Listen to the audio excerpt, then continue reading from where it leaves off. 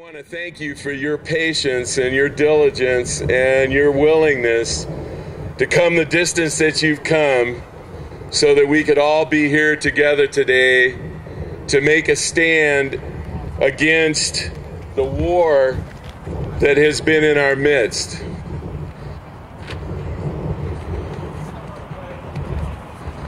I've been in. P- Peter Bergel spoke before me, and I very much appreciate Peter. We've all been kind of in the trenches together, and it's been a small group of us that's been in that trench. And I know Helen pointed that out when she said that there's a small group of people here today. But I got to tell you, you know, I believe, like Margaret Mead, that a small group of people make a big difference, and that's the way it's always been. A small group of people make a big difference. And if you don't believe that that's true, I want to tell you something that I experienced yesterday when I was traveling up here. I came to Oregon in 1969 by accident, and I've lived in the Pacific Northwest ever since then. I still live in Oregon. When I uh, was traveling down I 84 and I saw the gorge, I was just struck by the wonder of those the geologic formations that you pass through as you go as you go towards uh, Portland. And I, when I got to Portland, I was very much a part of the anti-war movement. At that time, it was the first war that I had been born into, the Vietnam War that I was and others were standing up against. And at the same time, I was attempting to understand what was going on around me. I read a book called Perils of the Peaceful Atom, written by Richard Curtis and Elizabeth Hogan, which has now gone out of print. But all the problems of the nuclear fuel cycle that were exposed in that book are still with us today, and they're going to be with us for a long time to come. And when I read that book, I decided that I had to do something about what it was that I was reading. And so that led me to become an anti nuclear activist. I taught myself administrative law.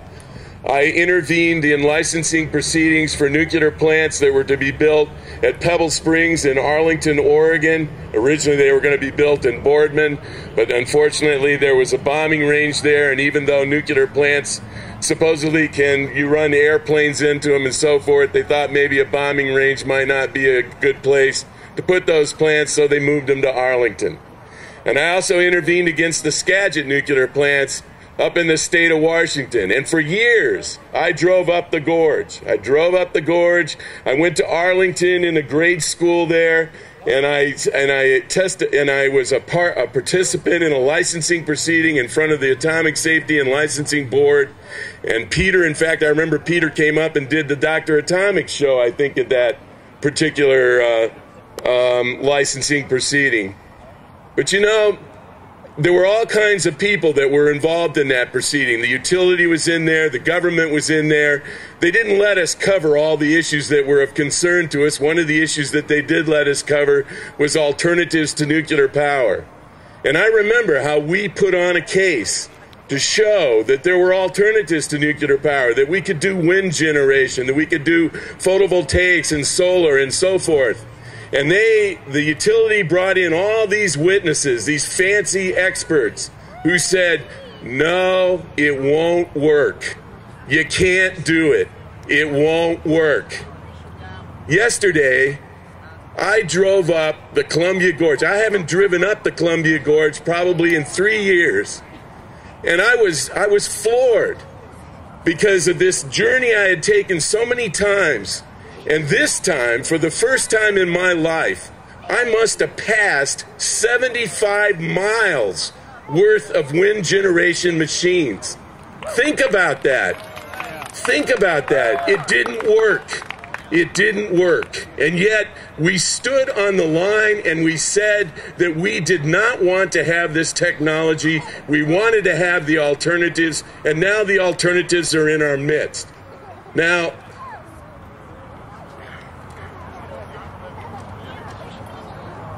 Today in the Oregonian, there is a there's an editorial which I invite you to read.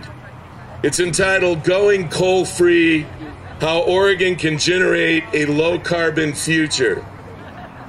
Now, and it's by uh, a man who I have some respect for, Angus Duncan, in which he exposes the fact that even with all those wind generation machines that we got, we're still not reducing the carbon to the levels that we need to reduce in order to stop this planet from being fried. And the thing that amazes me about this article, though, and again, about that 75 miles worth of wind generating machines, is I know that you and I, as that small group of people, can make the difference. We can change this world. We really can change this world. Now, I, you know, I wrote up a, a speech outline. It's amazing how you work on this stuff. I worked on it for, you know, several uh, weeks, and I'm not going to do it. And but I do want to cut to one portion of what I want to talk about. I was going to talk about Hanford, but geez, you know, you, the doctor already was on the stage. She's examined the patient. We're sick. And you know, when the doctor examines the patient, what are you supposed to do? And they tell you that you're going to die. You know, you have to make the change in your life or you're going to die. I mean, that's really what it comes down to. The doctor's been here, the doctor's spoken about the problem that we confront. We need to reverse that problem.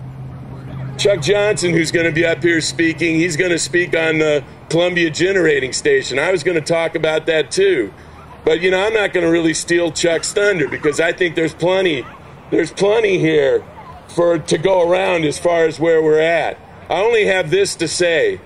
You know, insanity multiplies and it's been multiplying in this environment for some time. 10 miles north of here we got the Columbia Generating Station. It's a Mark V boiling water reactor. It's very similar to the reactors that melted in Fukushima. There's already, uh, Helen talked about, I think Peter, I can't remember, talked about how we've got MOX fuel that's been, or I think it was May that talked about it, MOX fuel that's been suggested for uh, the uh, Columbia Generating Station. Well, guess what? The Fukushima number three reactor was burning MOX fuel. It's melted down. And it's exacerbated the accident because you're putting the plutonium into the environment. And you know, when you think about Fukushima, I, I'm, I'm amazed when I think about Fukushima. I wake up one morning and on the news, they're talking about three nuclear plants that are melting down. Now, the whole time I've been an activist and I've been around these pro nuclear people, they were always saying, oh no, you can't have a catastrophic accident at a nuclear plant. Well, the probability of that's happening is one in a million years. I always wondered how the hell they knew that. But you know, they seem to know that. And here I wake up one morning and you got three of them melting down together. And an explosion in a fourth one, and the spent fuel pools full of radioactive waste. The, up, up here at uh, Columbia Generating Station, they got a bunch of spent fuel up there too. They got it in dry casks on concrete pads, just like they have it at Trojan, waiting for the garbage man to come to take it away. We're always waiting for the garbage man to come to take it away. I suggest to you that the time to the time for waiting for the garbage man is long past. What we need to do is stop producing substances that we're introducing into our environment that are killing ourselves and other species on this planet. We need to put a stop to it now. The time for this is is over. We need to live in balance with life. And we need to promote what we need to live in balance in life for. We need to make those decisions in our lives as individuals. Now I go around now and I make a presentation every once in a while, but I always like to leave those presentations with what I think is important information to convey to you. May talked about Dr. Rudy Nussbaum. He was my hero. He's a wonderful man. And I, I very much mourn his passing. When there was somebody to go to to talk about the health effects of radiation exposure, he was the man. He was an amazing man. And not only that, he was a Holocaust victim. And not only that, he also was very opposed to what Israel was doing to the Palestinians. I mean, he was, in my mind, he was an upright person. He was devoted to peace. And over there on the table, under the tree where I've been sitting, is the last article that he wrote before he died. It's entitled Clinging to Nuclear Energy Option is a Reckless Denial of Reality. I invite you to go get it. Pick it up, read it, and you'll see what kind of man he was. Also, in memory of people who have died, I think of Arthur Honeyman. You know, Peter mentioned the the uh, early Trojan decommissioning Alliance. Art Honeyman was a spastic. He had cerebral palsy. His body was contorted in this awful way. When he could barely speak, it was always very difficult to understand what art was all about. But boy, I'll tell you, inside that man's body was a furnace for change. I mean, he was one of the most courageous people that I knew.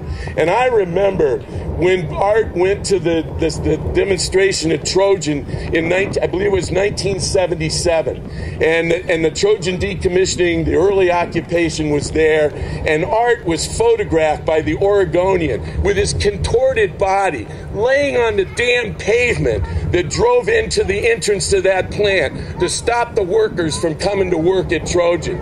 I mean, God, you know, that's the kind of people that we've got to become. We've got to constantly lift up our arms and go forward in, in an effort to make a difference in this world. Otherwise, we're going to lose the precious gift that we've been given in the form of life. I, my hat's off to Art. And you know, my hat's off to, to, to Dr. Helen Caldicott. Look how far reaching that woman is. Not only does she talk about nuclear weapons, but as she said, she went to Dr. Arjun Makhijani with the Institute for Energy and Environmental Research, and she said to him, I commission you to do an analysis of whether or not it's possible that we can live in this world without nuclear power and without fossil coal plants, fossil fuel plants. And Arjun said, I don't know if that's possible. He really did not know. And she helped finance his research, and that led to this book that she mentioned today, Carbon Free, Nuclear Free, which there's a, a, a we have a a thing from the IEER. It's a small pamphlet over on the table. Go over and get one. It's for free. But I'll tell you even better than that. This book is for free on the internet. You can get the whole damn book in PDF format, format for free. And you can read the book. I invite you to do so. It's important that we educate ourselves. And in the process of educating ourselves, I invite you to read another book. Amory Lovins has come out with a book entitled Reinventing Fire Bold Business Solutions for a New Energy Era. Remember, Amory was one of those people that said that wind generation machines could supply electricity in the Pacific Northwest. And guess what? We just broke a record in the Pacific Northwest with that wind generation. We are now supplying 4,000 megawatts of energy from wind in the Pacific Northwest. When I first became an activist, the only place that you could find over a thousand megawatts of wind generation was in Tehachapi, California. I mean, look at how far we have come, and we can go much farther, and that's what Amory's book is all about. Now, also, I invite you to educate yourselves about the terrible health effects of radiation by scientists like Dr. Janet Sherman, who wrote a book called Life's Delicate Balance and who edited the book that was published by the New York Academy of Sciences entitled Chernobyl Consequences of the Catastrophe for People and the Environment. Over on that table, for free, is a DVD interview with Dr. Sherman entitled At the Source. And guess what?